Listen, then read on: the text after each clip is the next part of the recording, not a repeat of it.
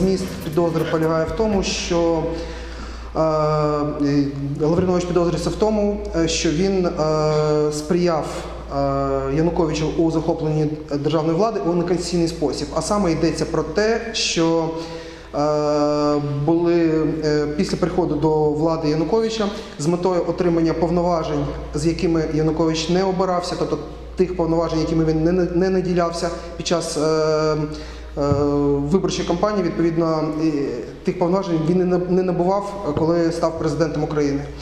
Е, Він вчинив е, ряд системних дій, точніше, він підозрюється в вчиненні ряду системних дій, спрямованих на набуття додаткових повноважень, які фактично, якщо коротко сказати, е, перетворили е, парламентсько-президентську е, державу в президентсько-парламентську. Тобто, е, власне, е, захоплення відбулося саме щодо тих повноважень.